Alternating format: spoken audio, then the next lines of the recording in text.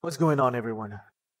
Today we're going to be doing Therapist Task Lost Contact, where you have to find the lost group in the chalet area of Lighthouse, as well as surviving and extract from Lighthouse. Let's begin with the map here. The location that you want to go is at the tennis court right in front of the chalet as shown on the map.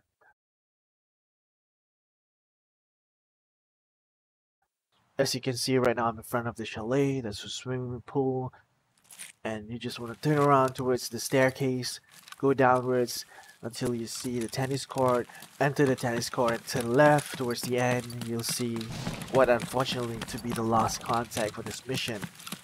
You have to survive and extract. If you happen to die, you don't have to visit this location again. Just have to survive and extract the map, and you completed the task. That's it for today's video. Hope you find it useful. If you did, be sure to hit that like and also subscribe to the channel. This is Joe, and I'll see you next time.